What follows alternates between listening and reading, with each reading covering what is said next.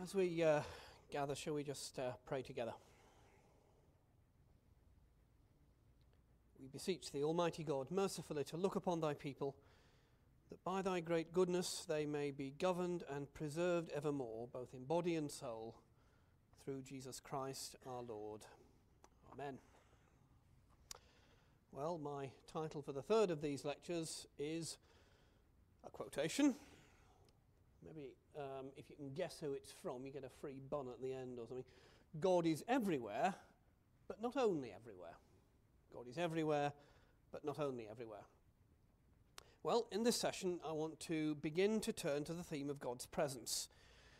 And to do this, I want to reflect on what are, at first sight, some rather disconnected topics the omnipresence of God to creaturely reality, divine providence, and the covenant between God and creatures. The connections will, I hope, become clear as we proceed. In treating this material, we're moving from theology proper to economy. That is, from talk of God in Himself and of the inner works of God to talk of God's external works. If we allow our minds to be led by the material logic of the Christian confession, this move is necessary, for God is the one who, having life in himself, gives life to the world.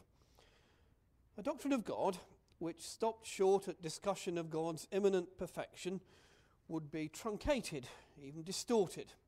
This is the force of what I was talking about at the end of yesterday's lecture the principle of inclusion. However, in moving to discuss the economy, we don't leave theology behind because everything that's said about God's relations to creatures and creatures' relations to God has immediate reference back to God in Himself. This, of course, is the force of the other two principles we were talking about yesterday the principles of derivation and sequence. An alert dogmatics, mindful of the need for proper disposition of its material, will give itself to both themes in due order and in that way try to point to the mystery of the gospel. The treatment of the material that I'm going to try out proceeds by passing, as it were, through two concentric circles. The outer circle is that of God's omnipresence, and more specifically, of God's providential ordering of all things to their appointed end. The inner circle describes the history of the covenant that is, the execution in time of the fellowship with creatures which God elects for himself and into which he elects creatures. This inner circle, which, following of course Jonathan Edwards, might also be called the history of redemption, this inner circle is the chief matter of revelation, though not, of course, its only matter. At the centre of both these circles lies a very special history, that on which all else turns. And this is the history of Emmanuel. This will be our concern in the next lecture.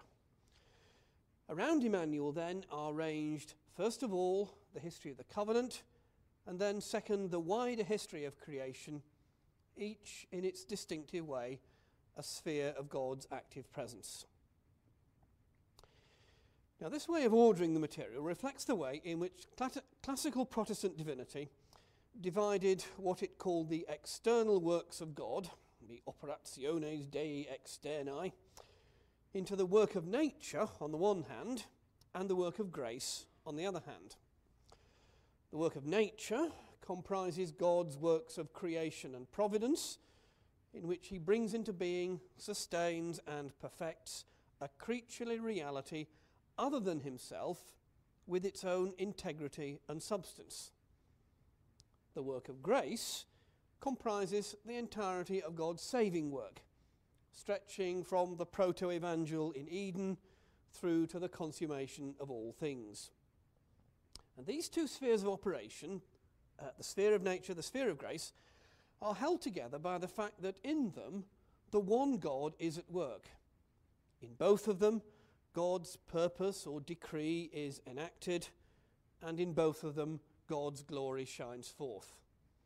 cosmology and soteriology, so often, of course, segregated in modern theology, belong together in this kind of scheme.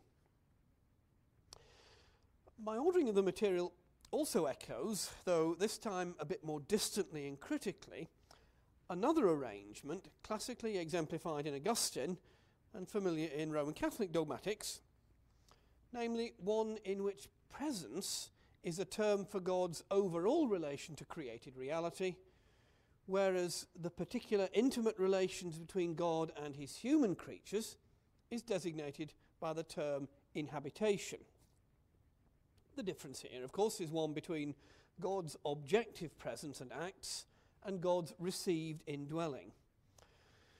Augustine makes the distinction in the famous letter to Dardanus on the presence of God. It's letter 187.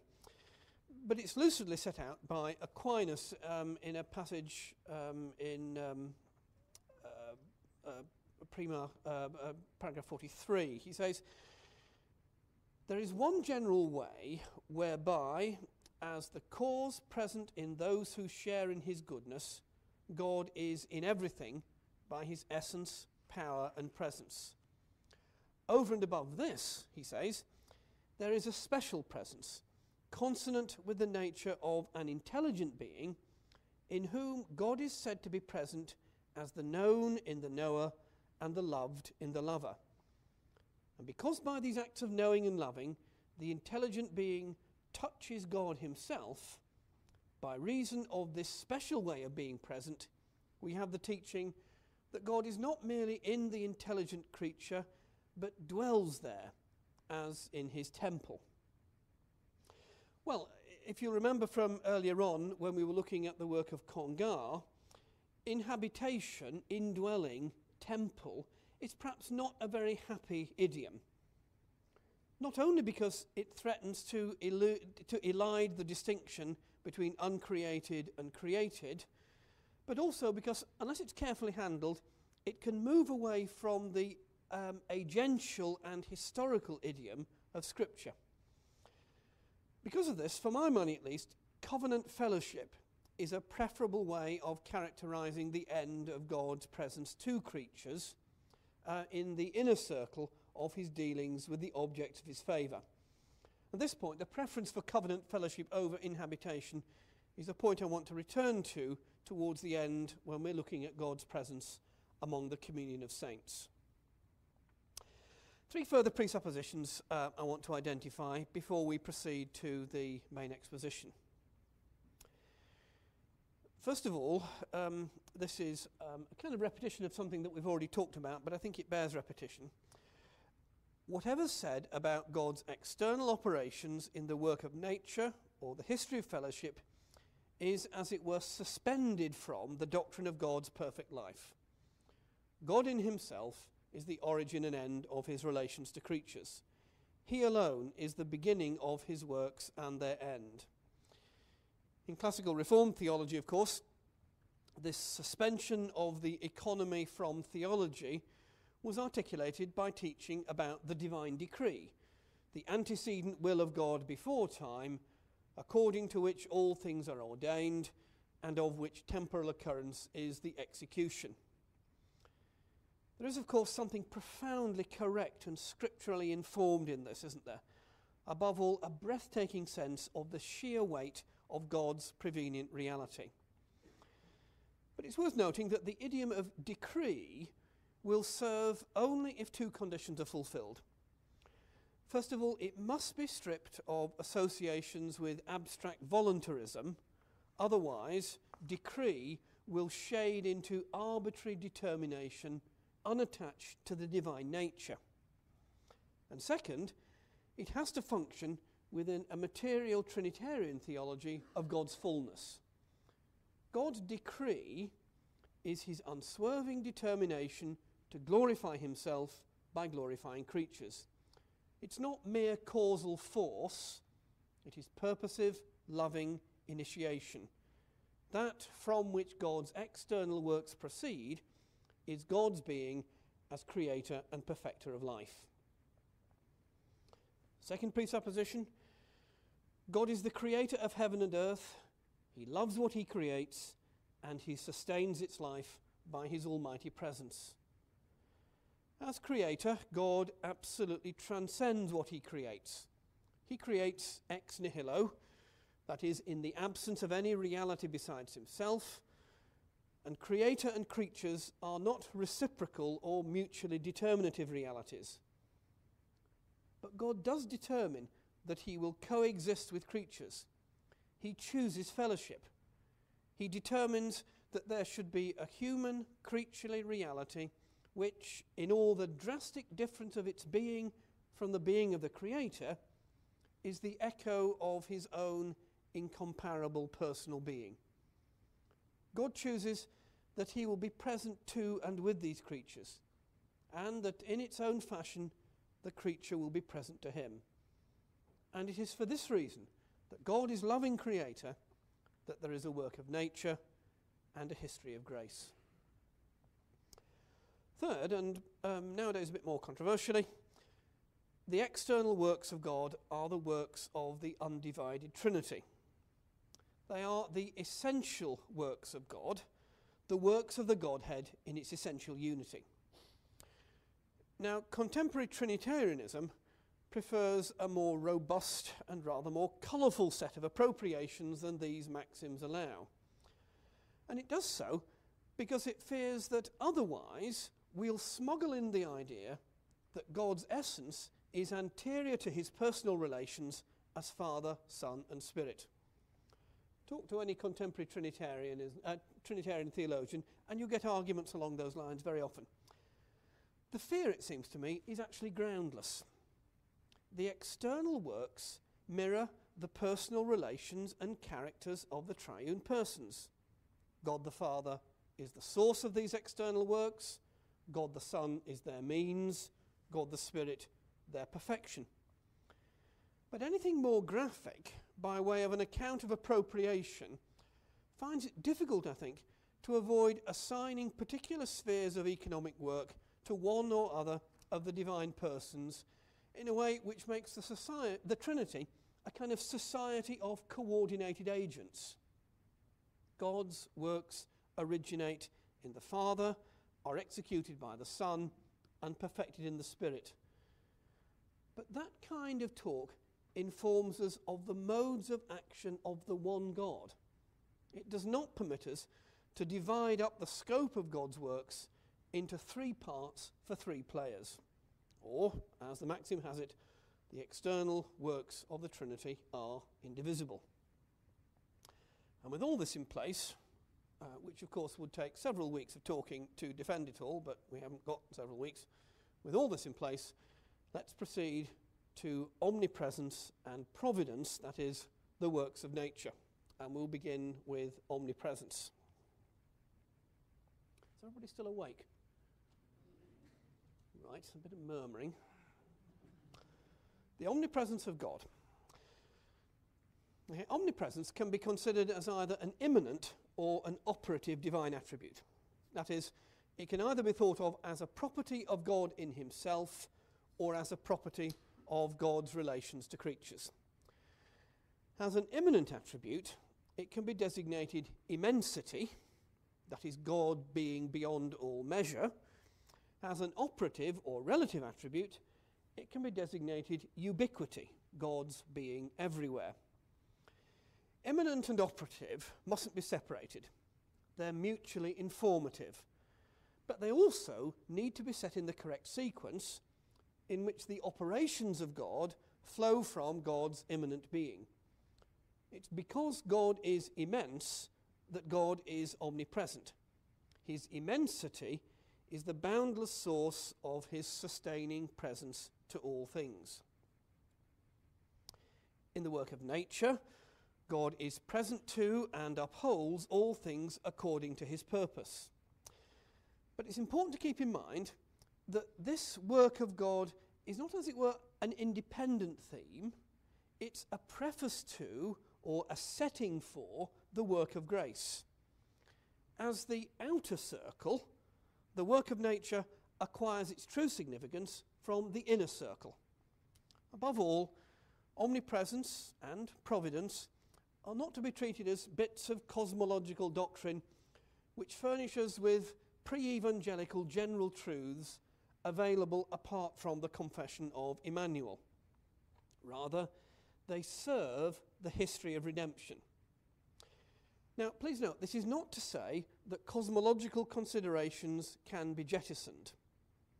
The collapse of God's omnipresence into God's existential presence to the believer is a very familiar disorder in modern theology. And it can only be achieved, it seems to me, by ignoring the perfect immensity of God and turning omnipresence into a wholly relative attribute with a narrowly anthropological cast.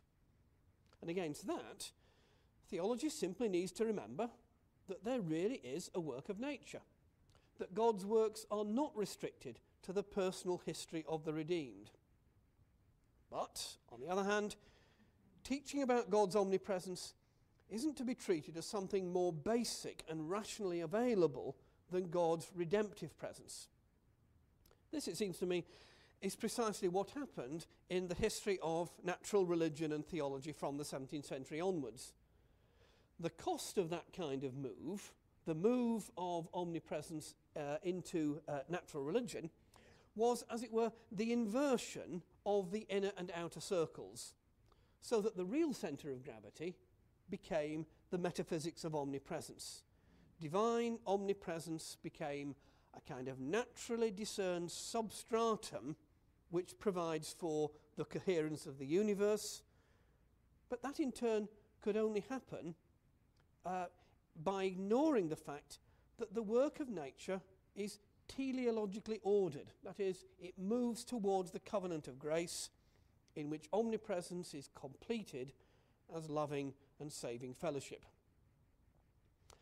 Now, if all that makes any sense, and um, actually having read it out, I'm not entirely sure it does to all of you, um, what it means is that we need to integrate and order immensity and ubiquity, immanent and operative. There is no immensity which is wholly apart from God's operative omnipresence. There is no ubiquity which is not grounded in God's free, transcendent perfection as the measureless one. God is free Lord of all things, without limit, and everywhere present in power and mercy. So, first of all, then, God's immensity. God's immensity is the triune God Himself in the boundless plenitude of His being, in which He is unhindered by any spatial constraint, and so is sovereignly free for creative and saving presence to all limited creaturely reality. In a good deal of the systematic literature, immensity is identified as a mode of God's infinity and it tends to be expounded by describing a set of contrasts with limited spatial reality. So, for example, as the one who is immense, God is one to whom whereness, position, ubietas, may not be attributed. Why? Well, because location is a category pertaining only to creatures. Hence, God is without location, illocalis is the term, and measureless, sine mensura. Now, these are important affirmations, but they're a bit risky, and they need to be qualified in at least two ways. First of all, God's infinity can't be thought of simply as an inverted image of the finite. Immensity as simply the antithesis of the local, something we reach by stripping away the attribute of spatiality, is not materially adequate to the boundless plenitude of the triune God. And, second, whatever we say by way of negation is only said on the way to a positive statement of God's immensity. The function of the negative is to bring into relief the particular perfection which God is. Infinity, in other words, is not indefiniteness or indistinctness of being, as the immense one unconditioned by space, unrestricted as we are by relations of adjacency, God is not unspecific, He is this one. That means, therefore, that infinity is not lack of identity, it's intensive perfection, um, in Bavinck's phrase, uh, limitless in the intensive, qualitative, positive sense. Lack of finitude, transcendence of all circumscription and measure and limitation are the backcloth to the particular freedom in and as which God is God. To speak of God's absence of limitation is to indicate the boundless liberty of God to be who he is in himself and to act as he determines in relation to space. Immensity concerns the plenitude, richness, and sufficiency of God and of God's disposition of himself in relation to creaturely space. To put the matter a bit differently, God's immensity, we might say, is his transcendence of space. But as we've already said, I think earlier in our questions yesterday, transcendence, like infinity, is best used non comparatively. Its content can't be reached either by the magnification of creaturely properties, so that immensity is simple vastness, nor can it be reached by the negation of creaturely properties, so that immensity is simply the lack of spatial limitation. God's immensity is his qualitative distinction from creaturely reality, and therefore it can only be grasped on the basis of the way it's actually enacted in the ways and works of God. Um, in his remarkable book um, called The Dynamism of Space, uh, Iain MacKenzie, um, a largely kind of uh, forgotten uh, 20th century English theologian, says that immensity, that, that, sorry, that immensus, uh, the term immense applied to God, is an aspect of uncre- uh, increatus, of God's uncreated being.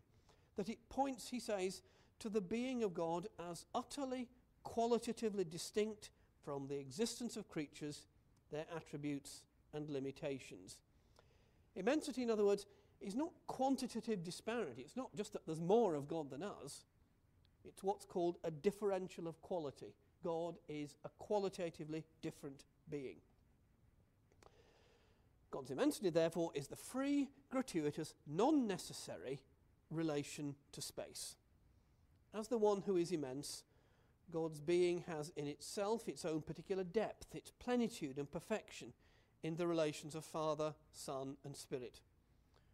God stands under no external constraints by virtue of the spatiality of created reality, and his relation to creation does nothing to complete his being. Possessed of immensity, God is self moved and replete. Now, with this, of course, we can begin to see, can't we, how an evangelically formed understanding of immensity begins to lead us to a further thought, the thought of God's ubiquity, God's omnipresence. Immensity is the surpassing excellence of God, which includes within itself the boundless capacity for nearness. It is a property of the transcendent fullness of God, but it's also the energy of his fellowship with creatures in the works of creation and incarnation. God's immensity thus includes his majestic priority over the space which he brings into being. He doesn't contain space, he doesn't surround it like a vast vessel, nor is he dispersed through space, nor is he spatially immanent in it as its life force, nor is he circumscribed by any of its places. Heaven and highest heaven cannot contain thee. Yet this doesn't denote the Creator's absence. No, it denotes the free, unconditioned character of God's sustaining presence to spatial reality and of his employment of space as one of the media in which he makes himself known. The immensity of the triune creator of heaven and earth, then, is his unqualified transcendence of spatial relation even as the one from whose creative act all spatial relations originate and by whose providential work they are held in being. Immensity is at one and the same time the otherness of God over against created space and his limitless capacity to stand in relation to and act in space without compromising his freedom. And this you can see moves us into talking of God's omnipresence. The God who is himself limitlessly majestic, is present without restriction in and to his creation. God's unrestricted self determination includes his determination to be present to the creation. In his immensity, not despite his immensity, but in it, God is everywhere present to the whole creation and is present to order, sustain, and perfect it, and to direct human creatures to fellowship with himself. Therefore, to God's immensity, there corresponds in the closest possible way his omnipresence. And all this is so because God's immensity is a perfection of his triune life. The full, unhindered majesty of God as Father, Son, and Spirit includes his glorious self presentation as the creator and reconciler who appoints all things, uh, who, sorry, who appoints and brings all things to their fulfillment. His immensity, therefore, because it's his immensity, is not bare absence of relation. It's not just a kind of unchecked will operating in a void. God is immense as the Father who speaks the limitlessly effective word of creative love, as the Son who is the Redeemer and head of the entire creation, and as the Spirit who is over all as the Lord and giver of life. In this triune act of free self presentation and relation, God's immensity makes itself operative and known as his omnipresence in and providential ordering of the creation. So, God's omnipresence then is his entire and constant presence in and to all things, the ceaseless and sovereign lordship in which the Most High, who is without measure or limit, inclines to be present to his creation and so holds it and renews it in life. How is the omnipresence of the God confessed in Christian faith to be characterized more closely? Well, in Scripture, it seems to me God's presence is characteristically to be understood on the basis of his exaltation. God is God Most High, maker of heaven and earth. As transcendent creator, God possesses and rules the entirety of what he has brought into being because he is the one to whom heaven and the heaven of heavens, the earth and all that is in it, belong. And because he's exalted in this way, he is uncontainable, most particularly, as we'll see, in relation to the temple, which can't in any way house God. Will God indeed dwell on earth? Behold, heaven and the highest heaven cannot contain thee. How much less this house which I have built? In the prophetic tradition, of course, this thought acquires greater polemical force as a protest against locative religion in which God and place are identified, and sacred space is used to guarantee and therefore to tame or resist the divine presence. Do not trust in these deceptive words, Jeremiah says. This is the temple of the Lord, the temple of the Lord, the temple of the Lord. And the correction to this idolatrous conception of a local divine presence is not an emphasis upon God's remoteness, however.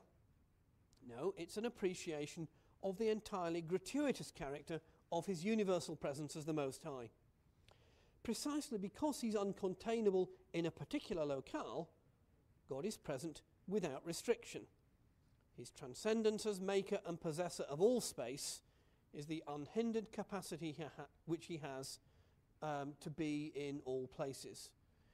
His presence is omnipotent and unrestricted, and no creature can block or escape the judgment which it brings. Am I a God at hand, says the Lord, and not a God afar off? Can a man hide himself in secret places so that I cannot see him? Do I not fill heaven and earth, says the Lord? Above all, in Psalm 139, ubiquity concerns God's majestic unconstrained, and therefore inescapable presence as the truth which discloses. Whither shall I go from thy spirit? Whither shall I flee from thy presence? To put all that in conceptual terms, if you want, God's omnipresence is a free mode of relation. It's a movement of the one who is replete in himself. But this doesn't mean that God's omnipresence is arbitrary or unstable or that there are occasions and places from which it might be withdrawn, occasional presence can't be omnipresence, for omnipresence is, without exception, universal, all places being comprehended in the ubi to which God wills to be present. The will of God is simple and therefore undeviating and dependable. Omnipresence has the unshakable reality of the divine promise. Its certainty and its constancy are that of the unqualified divine declaration, I am with you always. But the reliability of a promise is not that of a material or natural condition. A promise can't be converted into a state of affairs graspable apart from the freedom of the promiser without falling into idolatry. And as an aspect of God's work of nature, therefore, omnipresence is a relation rooted in God's aseity. It springs from, but in no way completes, the limitless sufficiency of God's self relation as Father, Son, and Spirit. So, omnipresence is free relation, but also it's free relation. That is, the freedom of the triune God really includes a turning to the creation in its totality and to each particular within the creation. This relation is not just a state or condition, something which can be converted into a natural property of the creation without reference to God. God's omnipresence is not simply the presence of a kind of infinite, supersensible reality without physical limitations. It is the presence of the Lord God. It is purposive. It's not a simple cosmological fact, but in the course of God's dealings with his creation as its maker and as the agent of its reconciliation and perfection. Now, on the basis of that positive definition, uh, there are some negations which follow in thinking about God's omnipresence. God's presence is not definite, local, or circumscriptive. That is, he's not present in the world after the manner of a finite physical body encompassed by space. Uh, Augustine again gives us some standard definitions. God, he says, is a spiritual substance not susceptible of division according to local distance or dimension, or even confined within the limits of bodily members. And so, he says, God is not diffused through space or confined within limits, having one part in one place, another in another, a smaller in a less space, a greater in a larger space. Why does Augustine say this? Well, because the spatial relations of created bodies are definitive, but God is defined by no such relations. Take away the spatial relations of bodies, Augustine says, and they'll be nowhere. Because they are nowhere, they will not be at all. Take away bodies from the qualities of bodies, there'll be no place for them to be. And as a necessary consequence, they will not exist. Now, of course, Augustine's not just repeating Neoplatonic commonplaces. The negations for him are corollaries of affirmations. He doesn't stop short at emphasizing the disembodied or non spatial and non dimensive character of God's presence. Such denials serve to draw attention to two positive affirmations. First, God is simple for Augustine, and therefore God, in his famous phrase, God is everywhere wholly present in himself. Second, the simple, self moving, wholly present God is present not just as a kind of invisible spiritual substance, he's present creatively for Augustine. That is, he's present to sustain and rule the world. God is not a quality of the world, but the very creative substance of the world, he says. He rules the world without labour, he sustains it without effort.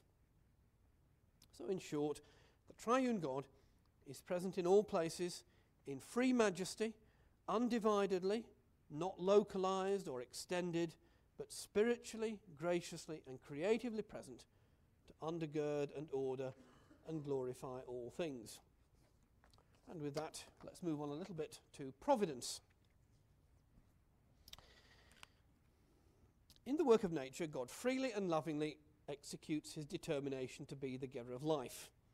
As creator, God is present without restriction to what he creates and by his presence he maintains and orders created reality so that it attains the end he has determined for it as its particular glory. Now, the doctrine of God's providential presence points backwards and forwards at the same time. It points back to the mystery of God's will, God's divine purpose. In providence, God administers the world in accordance with what he has determined before all time. That means, therefore, crucially, that providence isn't just a kind of responsive presence of God.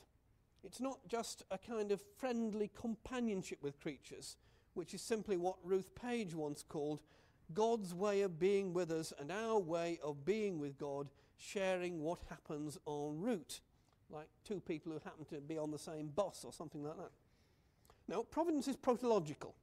That is, it executes the purpose of him who accomplishes all things according to the counsel of his will. But providence also points ahead to the history of the covenant. And in this sense, it's teleological. In looking at the work of providence, that is, we're edging closer to the inner circle of the work of God's grace. Providence remains an outer work of God. It's not yet part of the special inner history which God concludes with human creatures in the patriarchs and Israel and the church, whose central figure is Jesus Christ. But providence is ordered towards this special history. It, as it were, leads us to the border of the sphere of human fellowship with God. So, like omnipresence, providence is concerned with the coexistence of creatures, uh, of God's coexistence with the creatures whom God elects for himself. In his providential work, God is not simply the originating cause of the unfolding of created reality. No, he places himself alongside and with his creatures. In some measure, he determines that he will have a common history with them, that as their creator, he will be their God. What do we say about this particular kind of coexistence of creator and creature? Well, first, uh, unsurprisingly, if you've been listening to the lectures so far, it's an asymmetrical relation. That is, there is no compromise of the sheer difference between uncreated and created being. God is present to the creature as he wills, freely, graciously, and only so is the creature present to God. God governs the creature in accordance with the ends he has determined, but the creature does not so govern God. God decrees and executes what he himself decrees, but the creature can only flourish as it waits upon his will. So, God's being with the creature in his providential work is quite other than a passive divine immanence in which God is, once again, this is Ruth Page's word, alongside and contemporary. As Calvin says in a brilliant phrase, providence pertains no less to God's hands than to his eyes. Gosh, isn't that good? Isn't that good? But God's being with his creatures doesn't overrule creaturely being. That is, God orders creaturely existence purposively so as to perfect it in the history of grace, protecting it so that it can fulfill its nature by attaining its end, which is fellowship with Him. Creaturely things, this is Barth, do not have their purpose and goal in themselves or apart from the purpose and goal to which the covenant work of God hastens. They can only hasten with it in the one direction. But Barth goes on, creaturely things do indeed serve the work and will of God. They participate in it. They execute what God has resolved in his free and omnipotent grace. That means that providence can't be understood only as an omnipotent divine movement. Because it is a work of God's loving will, it also has to be understood transitively, the medievals would have said. That is, as an act in which God confirms the life of what he has created and which it is his purpose to glorify. As the work of divine love, providence is benefit, not just efficient cause. Its goal includes creaturely well being, namely active life with God, in the fellowship of those at whose head stands the Son of God. And so providence surrounds and supports the covenant of redemption. How do God's providential presence and activity promote life with God? Well, as in general with the doctrine of creation, this is a little kind of dogmatic rule.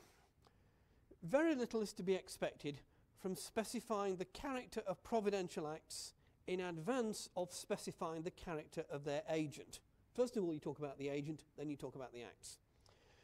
Progress, I think, is usually made by tending to the identity of the one at work, on the basis of which the conceivability of acts is then to be determined. In more directly theological terms, a doctrine of God's providential presence is to be shaped by the confession from him and through him and to him are all things. As it asks who this one is, dogmatics is going to have little investment in the notion of an omnicausal supreme being, and its reflections will instead be led by a further confession there is one God, the Father, from whom are all things and for whom we exist, and one Lord Jesus Christ, through whom are all things and through whom we exist. So, if you want a little proposition, God's providential presence is the presence of the loving Creator and Perfecter who conserves, accompanies, and governs his creatures. In the work of conservation, God maintains created reality in being. Creatures are from him, not only in the sense that creaturely being originates in his intention and action as creator, but also in the sense that creaturely being continues in its course only by his presence and power. Creaturely being endures because God is with it as its preserver. So, conservation, in other words, is the enactment of God's fidelity. His relation to what he's made doesn't terminate with the act of creation, he continues to be with creatures, to be at each moment in the history of creatures the faithful one through whom they exist. Conservation, therefore, is the loving kindness of God who does not desire that creatures should perish and determines to be for them and with them. His compassion is over all that he has made. Now, God's preservation doesn't take the form of ever renewed acts of creation. If it did, then the work of creation wouldn't be completed, and creaturely being would have no intrinsic stability given to it by its creator. It will be a kind of perpetual process of coming to be, continuous creation. Rather, in preservation, God works in creatures, preserving them by acting in and through the self maintaining causality which He's bestowed upon them. This is what Aquinas says, for instance. During the whole of a thing's existence, he says, God must be present to it, and present in a way in keeping with the way in which the thing possesses its existence. And because existence is more intimately interior to things than anything else, God exists intimately in everything. It's important to hear that right. Later rationalist philosophy and theology will coarsen Aquinas' delicate statement. It'll secularize him and turn his statement into, into uh, his statement about interior providential presence into something about, for instance, the immanent powers of the creature itself. And it'll do that because it wants to maintain God's autonomy. But for Aquinas, crucially, God's being in everything doesn't mean that God is no longer outside everything. The perfection of his nature places God above everything he says, and yet, as causing their existence, he also exists in everything. As creatures preserve themselves, they are preserved by God. Second, then, in the work of concurrence, God supports the operations of creatures. His presence accompanies creaturely action and so maintains the proper liberty and glory which it has by virtue of the summons of the Creator to life. God works with the creature.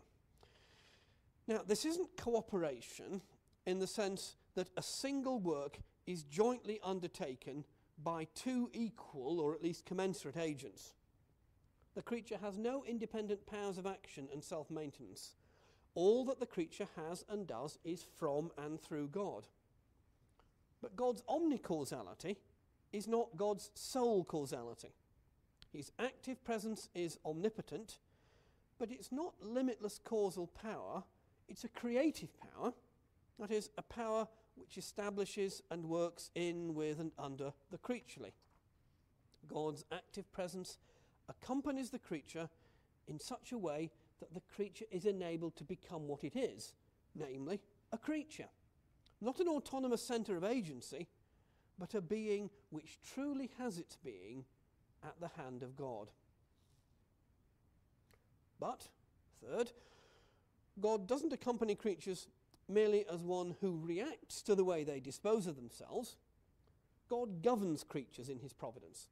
His presence shapes the course of creaturely history, bestows on it the form and direction which are essential if creaturely being is to attain its given end.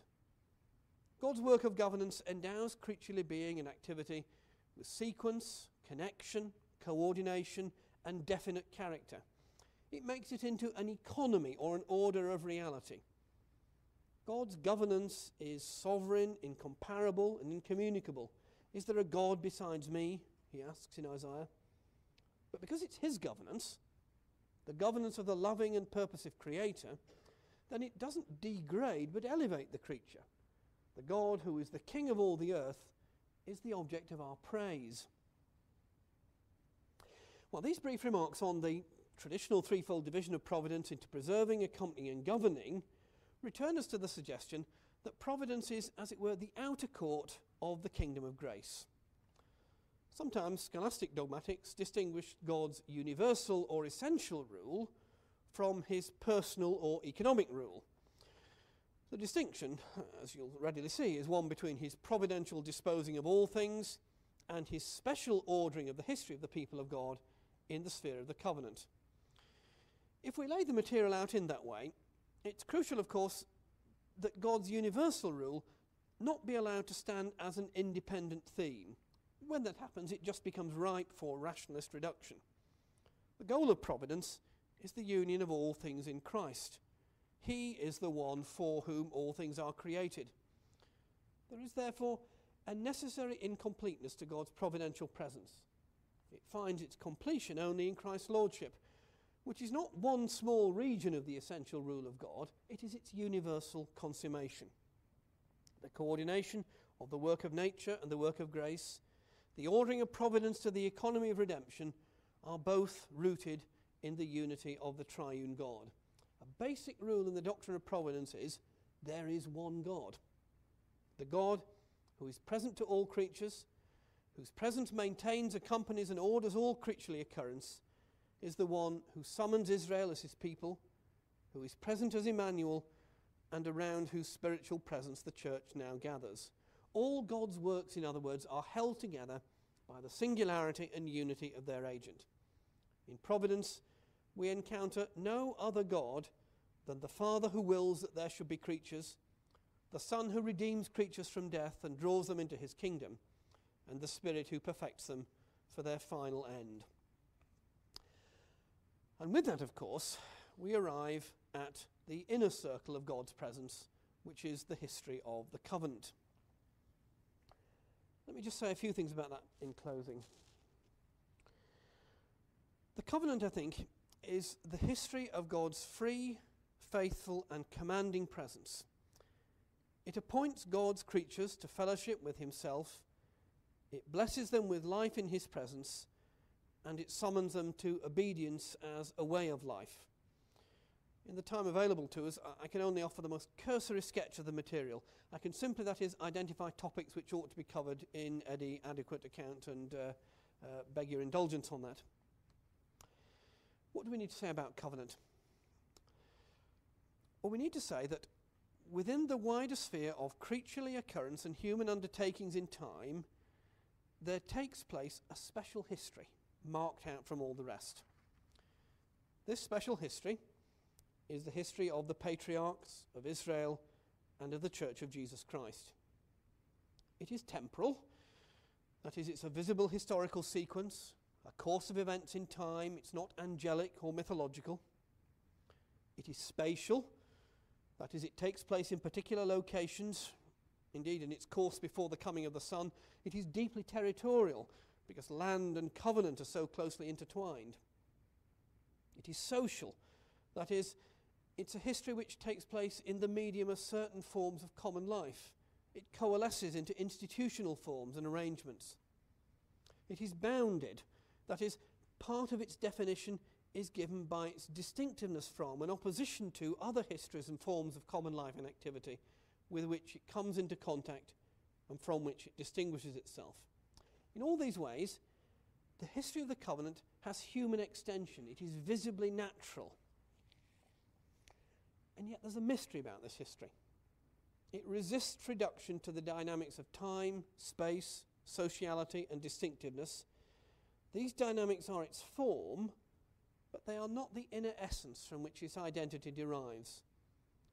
To try to identify that inner essence, what lies at the heart of this mysterious history, we would need to say that it's a history not wholly enclosed within the sphere of immanent causality. And this, not simply in the sense that all creaturely occurrence is referred back to God as its creator and sustainer, but in a more precise sense. The source of this history is to be found in a taking or calling, a choosing and appointment which go beyond the relation of creator to creature.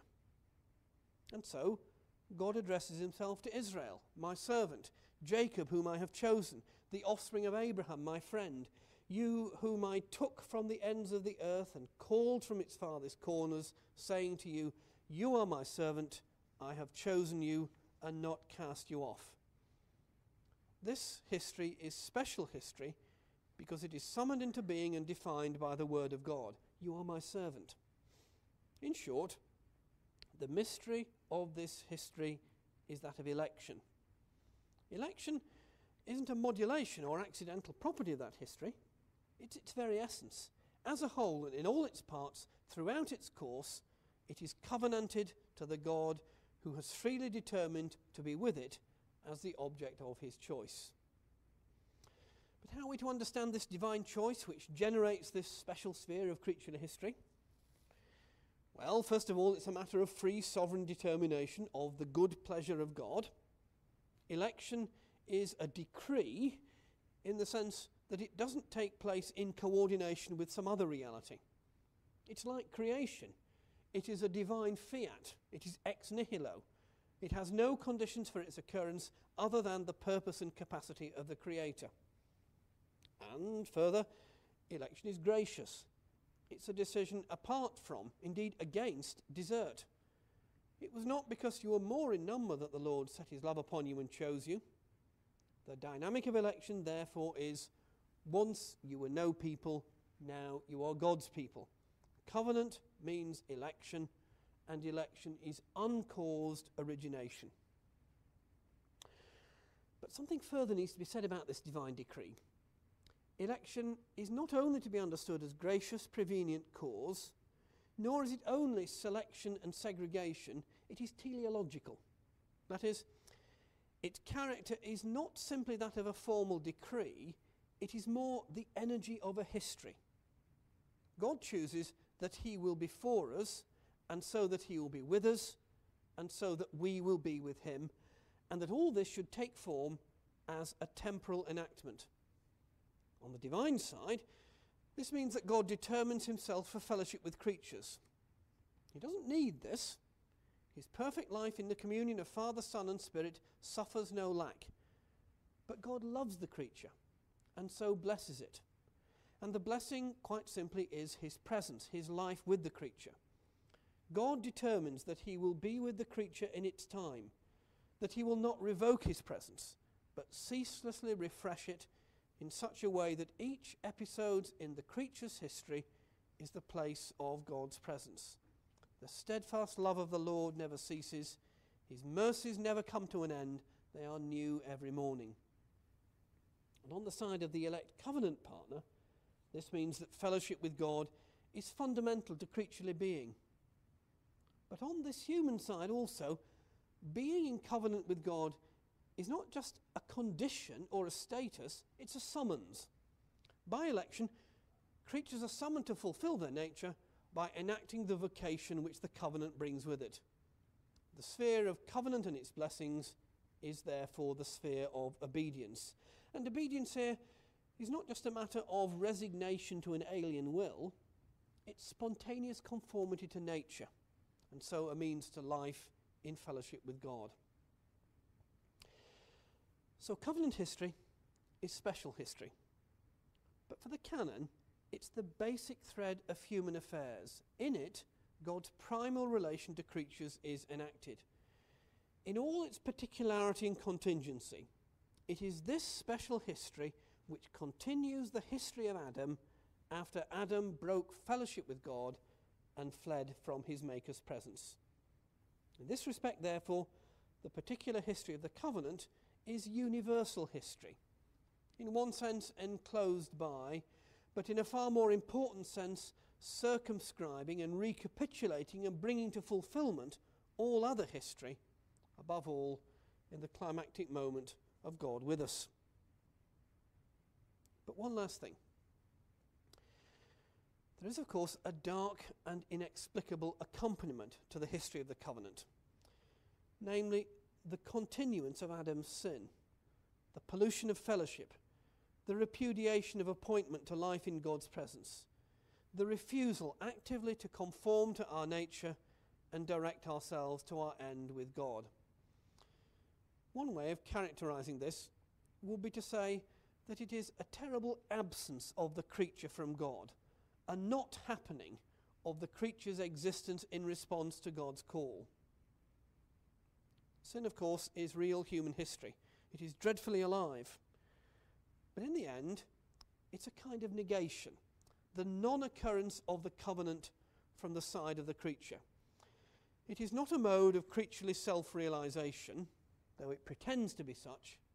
It is, in fact, a self unmaking Sin is not being, but non being. It is not life, but death. But sin is not outside the perfect lordship of God. God checks it. Sin does not repulse God as some power which he cannot master and from which he is forced to withdraw.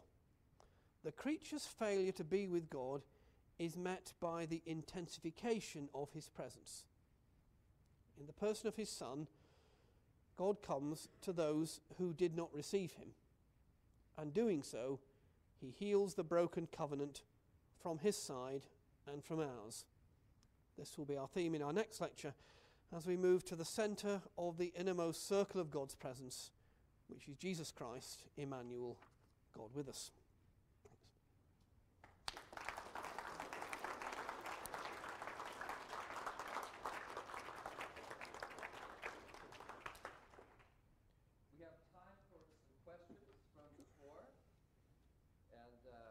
Or from the people sitting on the floor. Think about I it. Will, I will prime the pump. um, and uh, you mentioned Aquinas and, Barth today. I did. And my former colleague Ruth Page, but we'll leave that. Um, Thomas Weinandy, in his book Does God Suffer, I think makes similar points to what you're making. That when God is with us, He is with us as the Holy Other One. Yeah. And Weinandy is concerned to um, uh, correct misperception about Aquinas in doing so. Uh, you've tried to, mis, uh, to, to, correct misapprehensions about Barth. Yep. Um, are Aquinas and Barth saying something similar? Because it would be interesting if yeah. they're both conceptually elaborating the God of the gospel in the same way. Yep. And, and are you uh, doing some revisionist theological history here for us? I, I, th- I think that's right, Kevin. I, I, I, do think that on this issue of divine suffering, both uh, Barth and Aquinas really are just central figures in the, in the Christian tradition. I mean, Aquinas is quite clear, of course, that God is with us. He's quite clear that to deny that God has real relations to creatures doesn't mean that God is kind of unfriendly and unconcerned. It just means that God is not at the mercy of creatures. And therefore, precisely because he's not at the mercy of creatures, he can help them. And it seems to me that's exactly what Barth wants to say. I mean, you know, in the discussion of, um, of impassibility, Barth says we need to go fairly close to heresy on this point. We need to affirm that God really is um, active within the creation and puts himself in the creature's distress. But it really is him putting himself there.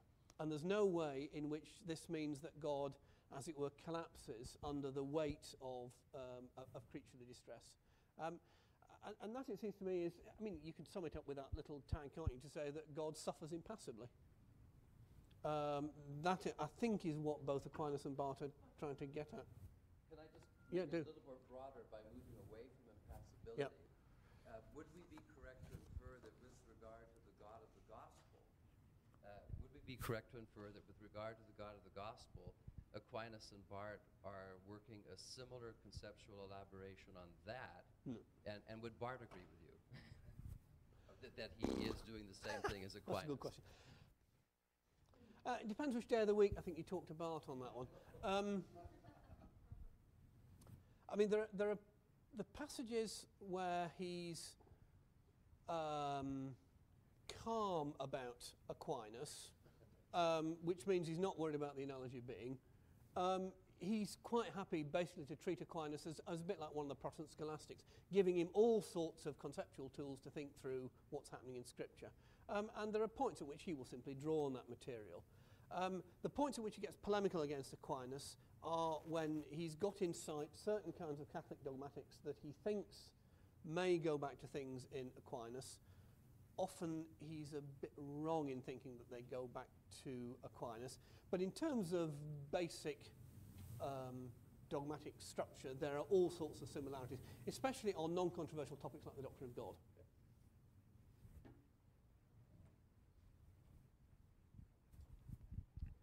Um,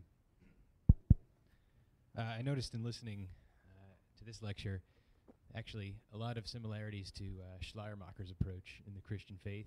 Uh-oh. Sorry to accuse you of that. Um, uh, but uh, in particular, his, uh, his dislike of the ne- the via negativa, the via eminentia, in in his case, a preference for the way of causality, and and uh, uh, in the Christian faith, he he views all these attributes that you're discussing as modalities of of causality. So that omnipresence is how God is sustaining and preserving all that exists Yeah. in the world, and uh, as omniscience is his sort of the telic aspect of his causality. Uh, is there a similarity? Is that a, a good sort of category to subsume these other attributes that you're discussing, or the differences? Well, th- I mean, the similarity, I think, is that when he's talking about the divine attributes, he emphasizes the operative um, aspects of, of, of, of the divine attributes. And insofar as I'm saying something about the operative divine attributes, then uh, there are things certainly where I want to line up with what's, uh, what Schleiermacher's doing. He's generally pretty reluctant to talk about the divine attributes in terms of their relation to the, to the immanence of God. Um, and at that point, um, I, I think I, I would just need to, to pull away from him. Um, he, for instance, um, um, thinks the notion of immensity is just a kind of pointless bit of doctrine. Uh, uh, omnipresence, he's, he's, he's happier with. Uh, but he stands, in, for me at least, fairly early on in that tradition that has been so strong, in, particularly in Protestant dogmatics, of thinking through the divine attributes in terms of how are they experienced as modes of God's uh, activity towards creatures. Um, and that's all one needs to say about them. And, and, and that, it seems to me, is going to be, well, deficient, first of all, in terms of theology proper, because one needs to say more than that about God. And second, it's going to be deficient in terms of how you understand the operative attributes in relation to us, because if they're detached in that way from God's immanent being, then they become rather different animals than they might otherwise be. Now, wh- whether that's as kind of nuanced an account of Schleiermacher as needed, well, I'm pretty sure it isn't, uh, but, but um, I, I'm, I'm at least nervous, I think, about what Schleiermacher doesn't say about the divine attributes, if you see what I mean.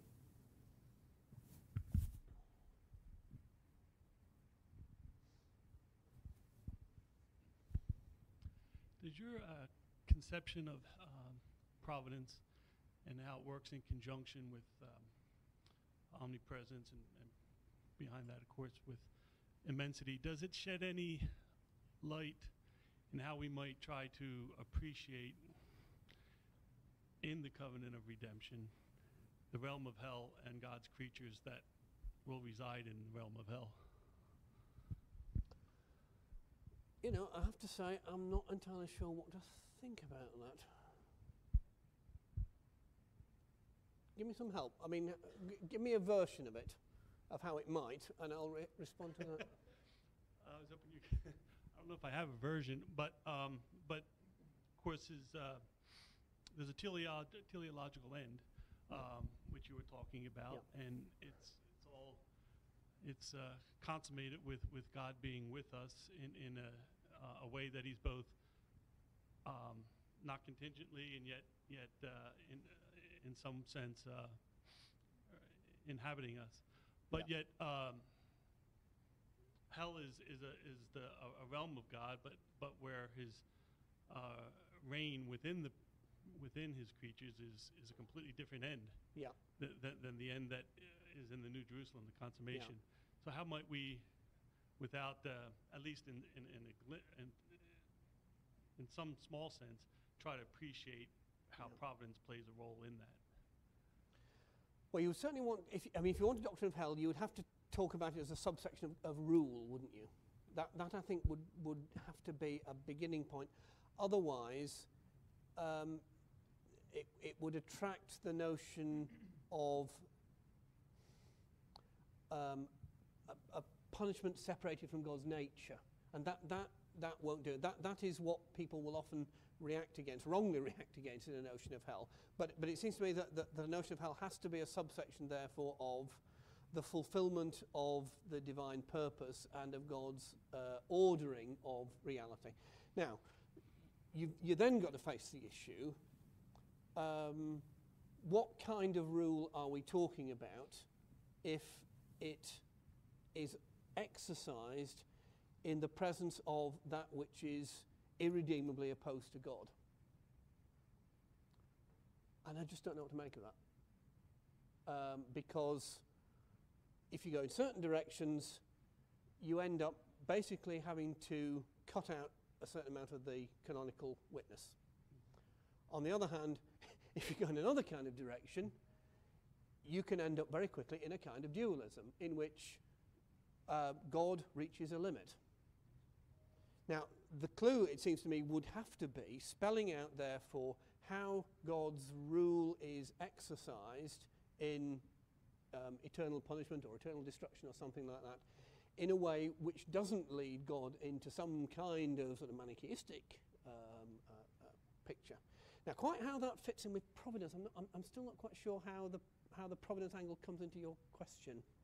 Yeah, Only, only in that, the, in the larger scheme of things, how God is ordering all things to, to be in a covenant relationship with those He's created, and how hell. Uh, yes, I mean that's normally that. done. Yeah. That would be normally done, th- wouldn't it, through a doctor of reprobation, though, rather than a doctrine of providence. Um, I mean, part, part of the difficulty is that that um, providence is a bit of a porous term, isn't it? It, it, it can um, it can attract more material, less material, depending on how you kind of dispose of it. Quite what you make of the doctrine of reprobation, it seems to me, is another really tricky and actually pretty important um, topic that um, it tends to be kind of out of radar range, doesn't it, these days?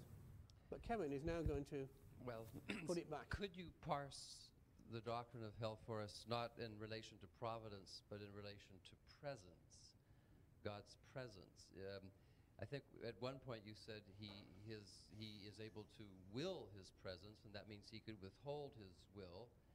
But on the other hand, um, does he, does he have to relate to hell even to sustain it? Does God sustain hell, in which there is a kind of providential personal presence Yeah. there? Or is hell the absence of God's presence? Well, yeah, um, I think you have to. You, you would have to say that if there is a reality, if there is a sphere of being called hell, then God must be present in it because it is not possible for there to be being from which God is uh, is absent. Otherwise, it would not be. Now, I mean, when Augustine talks about this, you know, he, he says, yes, okay, we grant that point. To, for there to be creaturely being, there has to be God present to it, otherwise it would not be. But there is also another kind of relation which God has to creaturely being, in which God is present in certain ways, what he calls inhabitation to those um, who uh, respond to God's offer. And there is another kind of presence, an unequal kind of presence, in which God is present to those who reject him. Um, so you might be able to, to, to develop in those kinds of uh, those kinds of terms, and it might be possible to develop a, um, a doctrine of, of hell out of out of that. Um, you would certainly require some kind of pretty complicated,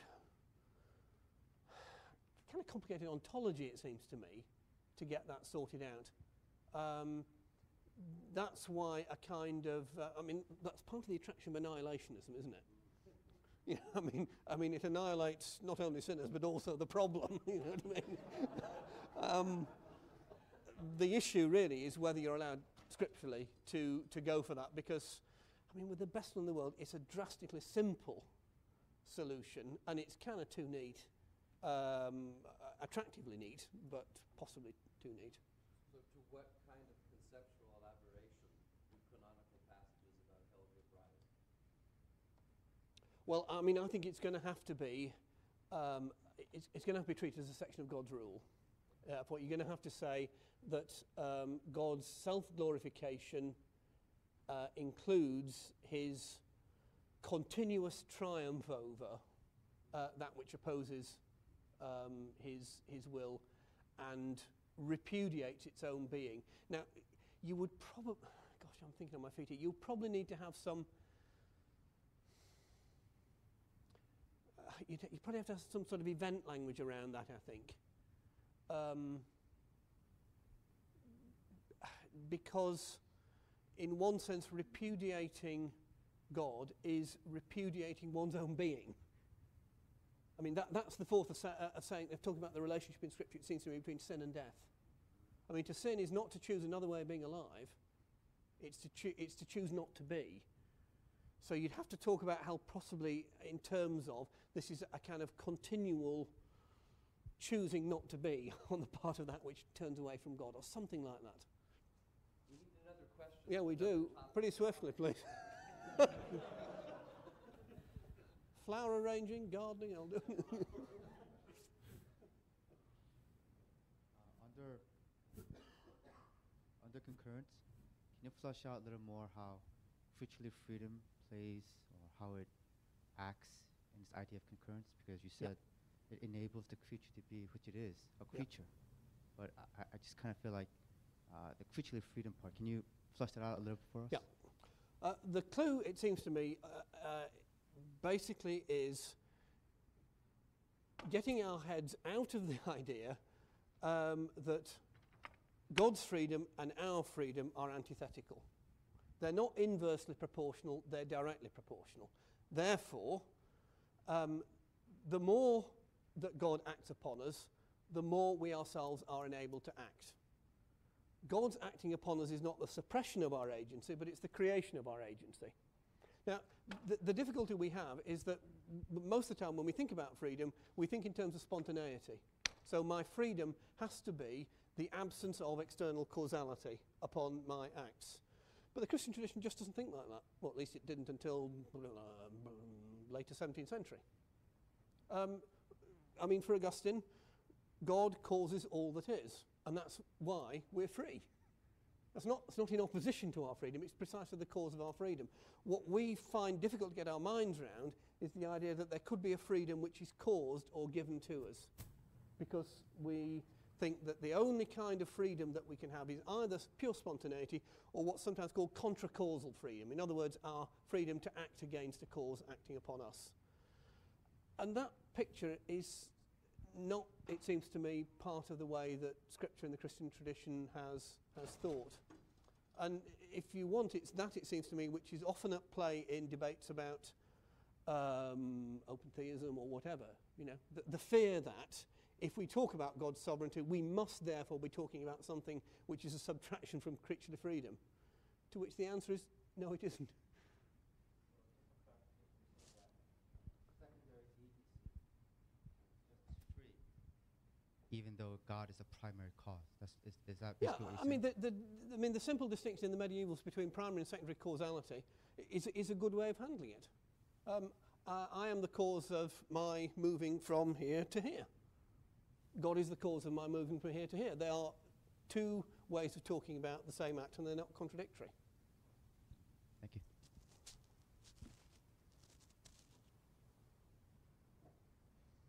That's Flawdom.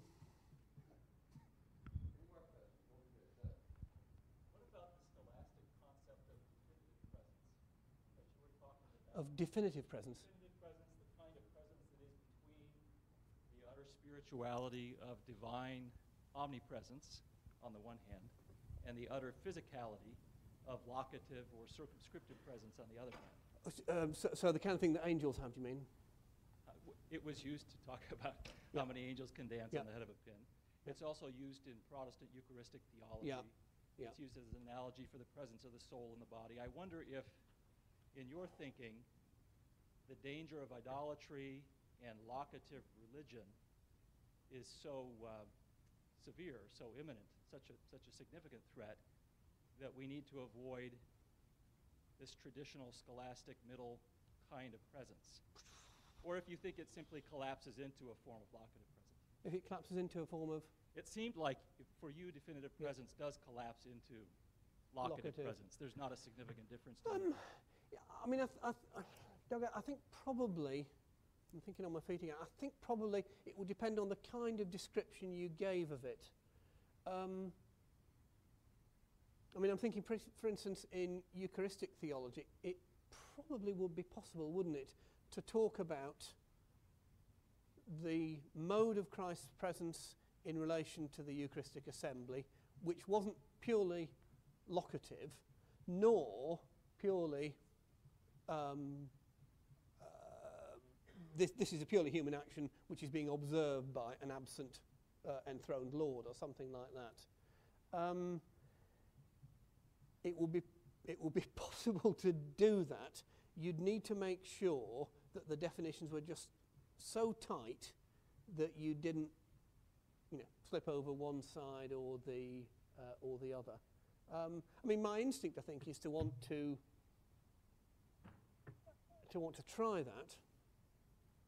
Um, it requires quite a lot of conceptual work, doesn't it, that we don't easily do. And it may also, I mean, in Eucharistic theology, it may also fall into the problem that we, if we're not careful in Eucharistic theology, end up talking about objects rather than about uh, objects insofar as their modes of personal encounter or something like that. Any questions from biblical scholars? Uh-oh.